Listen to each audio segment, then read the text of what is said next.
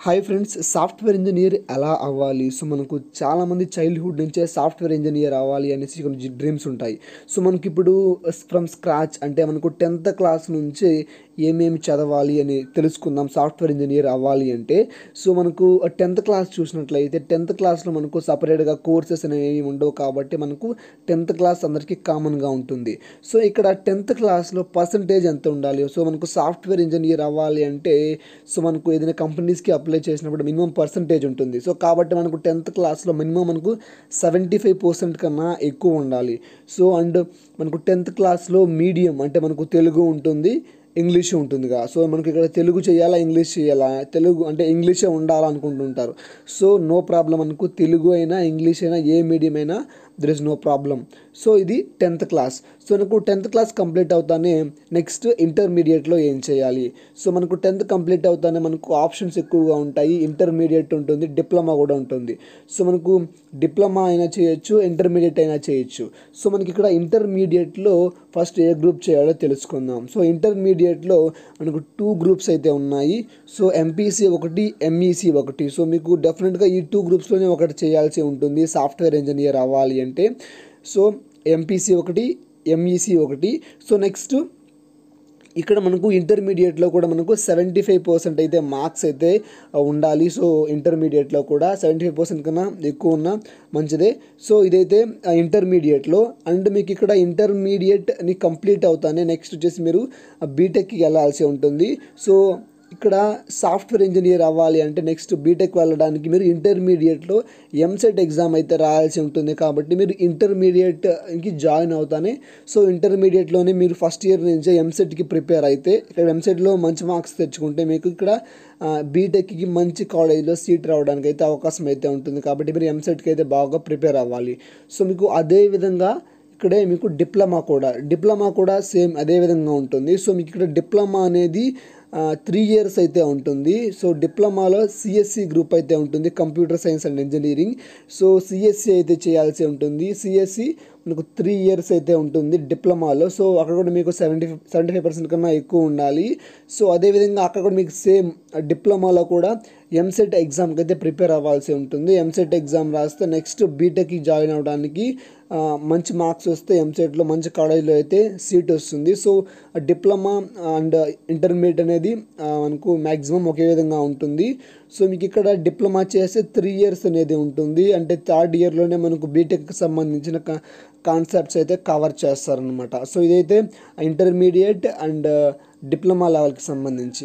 Next ఇవి complete అవుతానే ఏం చేయాలి? సో ఇవి కంప్లీట్ అవుతాను మీరు అదే ఎంసెట్ రాయాలి కదా. సో ఈ ఎంసెట్ అనేది రాస్తే మీకు ఒక మంచి కాలేజ్ అయితే సీట్ తెచ్చుకుంటే మీకు సాఫ్ట్వేర్ ఇంజనీర్ అవడానికి కొంచెం బెటర్ ఛాన్సెస్ అయితే ఉంటాయి. అంటే ఎలాంటి కాలేజ్లో సీట్ తెచ్చుకున్నా మీ టాలెంట్ను బట్టి అయితే వస్తుంది. బట్ మంచి కాలేజీలో ఉంటే బెటర్ అనమాట సో ఇక్కడ నెక్స్ట్ బీటెక్లో ఏం చేయాలి? సో బీటెక్లో మనకు సిఎస్సి గ్రూప్ అయితే తీసుకోవాలి.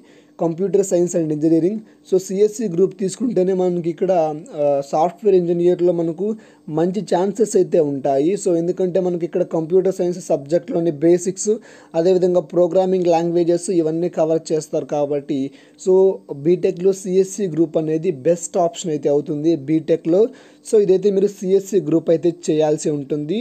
సో మీకు ఇక్కడ ఫోర్ ఇయర్స్ అయితే ఉంటుంది. ఇంటర్మీడియట్ కంప్లీట్ చేసిన వాళ్ళకి ఫోర్ ఇయర్స్ ఉంటుంది.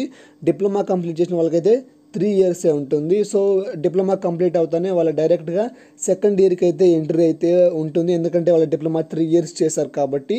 సో ఇదైతే మనకు బీటెక్కి సంబంధించి. సో నెక్స్ట్ బీటెక్ కంప్లీట్ అవుతానే ఏం చేయాలి? అంటే ఇక్కడ మనకు బీటెక్ కంప్లీట్ అవుతానే.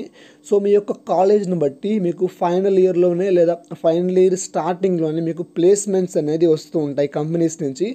మీ యొక్క కాలేజ్ని బట్టి అంటే కొన్ని మంచి కాలేజెస్కి అంటే అక్కడ ప్లేస్మెంట్స్ అనేవి బాగుంటాయి అన్నమాట సో మీ యొక్క కాలేజ్ని బట్టి అక్కడ ప్లేస్మెంట్స్ అనేది ఎక్కువగా వస్తూ ఉంటాయి. సో మీరు బెటర్ మీరు ఆ ప్లేస్మెంట్స్కి ప్రిపేర్ అయ్యేసి ప్లేస్మెంట్స్కి వెళ్తేనే మీకు ఇక్కడ స్టార్టింగ్లోనే మంచి సాలరీ ఆఫర్ చేసి చేసే కంపెనీలు వస్తూ ఉంటాయి కాబట్టి సో మంచి సాలరీతోనే మీరు సాఫ్ట్వేర్ ఇంజనీర్ బీటెక్ కంప్లీట్ అయిపోగానే మీకు మంచి జాబ్ అయితే వచ్చేస్తుంది. సాఫ్ట్వేర్ ఇంజనీర్గా అయితే. సో ఇదైతే ప్లేస్మెంట్స్ పరంగా అయితే మీరు వెళ్ళాలి వెళ్ళాలన్నమాట. సో ఇది బీటెక్కి సంబంధించి అంటే బీటెక్ బీటెక్ కంప్లీట్ చేసి ఎలా సాఫ్ట్వేర్ ఇంజనీర్ అవ్వాలి అనేసి సో ఇంకా కొంతమంది ఇప్పుడు ఇప్పుడు ఇప్పుడు నవ్వు డిగ్రీ కంప్లీట్ చేసి ఉంటారు. సో డిగ్రీ చేసిన వాళ్ళు కూడా సాఫ్ట్వేర్ ఇంజనీర్లు అవ్వచ్చు. డిగ్రీలో కంప్యూటర్ సైన్స్ సబ్జెక్ట్ ఉంటుంది.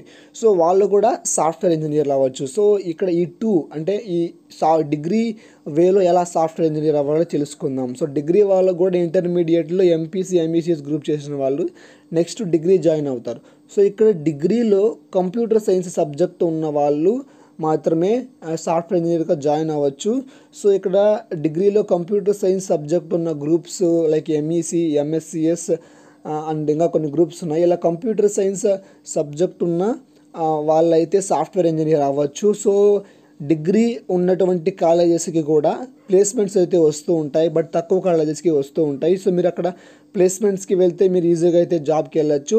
అండ్ ప్లేస్మెంట్స్ మీ కాలేజీకి రాకపోయినా ఇప్పుడు off campus drive off campus drives అంటే బీటెక్ కాలేజెస్ కానీ లేదా వేరే అదర్ కాలేజెస్కి అక్కడ అక్కడ కంపెనీస్ వస్తే మీ కాలేజ్ నుంచి అయితే అక్కడికి వెళ్ళి అక్కడ ఇంటర్వ్యూకి అటెండ్ అవ్వచ్చు అనమాట సో అలా కూడా మీరు ఈజీగా అయితే సాఫ్ట్వేర్ ఇంజనీర్ అవ్వచ్చు అనమాట సో ఇది ఈ విధంగా అయితే అవ్వచ్చు. సో నెక్స్ట్ ఇక్కడ మీరు బీటెక్ కానీ లేదా సాఫ్ట్వేర్ బీటెక్ కానీ డిగ్రీ కానీ సో మీరు చదువుతూ ఉన్నప్పుడు కొన్ని అయితే నేర్చుకోవాల్సి ఉంటుంది. కొన్ని టెక్నాలజీస్ అయితే. సో కొన్ని టెక్నాలజీస్ అంటే ప్రజెంట్ అక్కడ సాఫ్ట్వేర్ మనకు సాఫ్ట్వేర్ ఇండస్ట్రీలో ఏ ఎక్కువగా వాడుతూ ఉన్నారు.